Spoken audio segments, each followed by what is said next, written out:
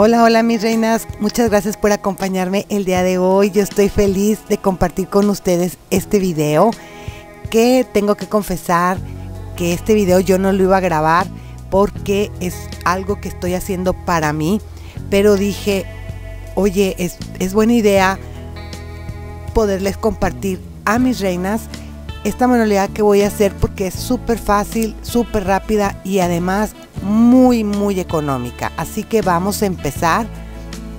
Y aquí les muestro esta tabla que yo ya tenía pintada. Yo iba a hacer otro proyecto pero me gustó para hacer el que les voy a enseñar en esta ocasión. También voy a utilizar estas pincitas para las que vieron el video donde les compartí mis compritas. Recuerdan estos pinzas para la ropa traen unos motivos para el Día de la Madre. Así que vamos a utilizar el mismo cordón que trae.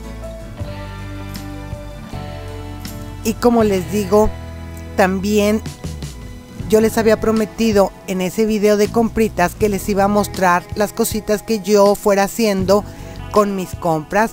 Así que esta es una de las ideas que les doy para que ustedes puedan hacer un lindo regalo, ya sea a una amiga, a su mami, si es que alguien me está viendo que quiera hacerle un regalito a su mami, a su suegra, a su hermana, o como te digo, para ti misma, es algo muy útil, muy económico.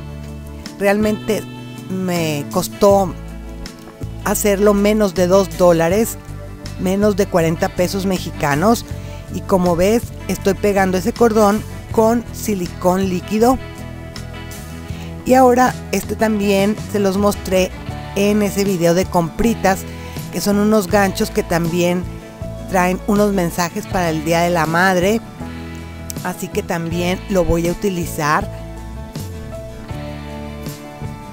En ese video de compritas les dije que cada cosa costaba 19 pesos. Estos me fascinaron, estos ganchos, porque traen, como pueden ver, un papelito en la parte de atrás donde ya viene el pegamento y me sorprendió lo bien que pega. Yo pensé en ponerle más pegamento, el silicón frío, pero la verdad es que no fue necesario porque quise despegarlo a ver qué tan, qué tan fuerte quedaba y no pude. Así que se los recomiendo si es que tienen una tienda como esta que les dije que están en las tiendas de Walmart en México. Y ahora voy a cortar otros dos tramos del mismo cordón que me sobró para ponerlo en la parte de atrás y así poderlo colgar.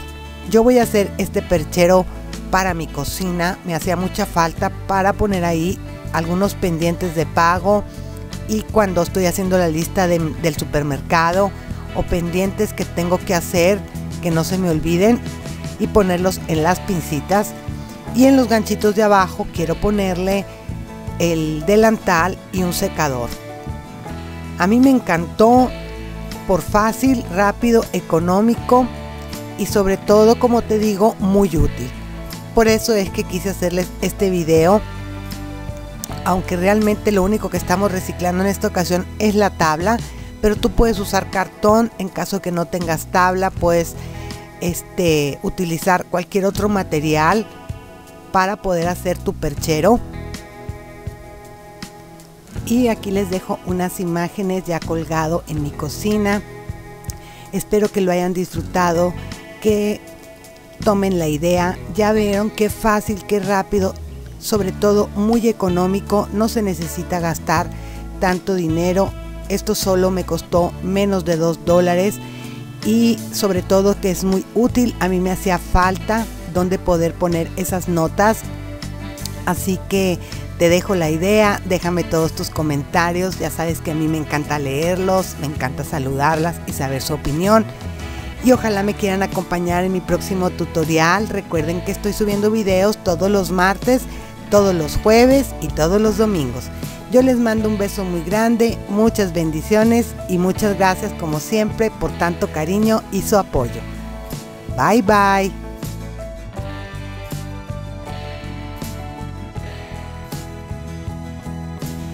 Para suscribirse hay que darle clic aquí en la palabra suscribirse que está con rojo y después en la campanita, así vas a recibir todas las notificaciones cada vez que yo suba un video.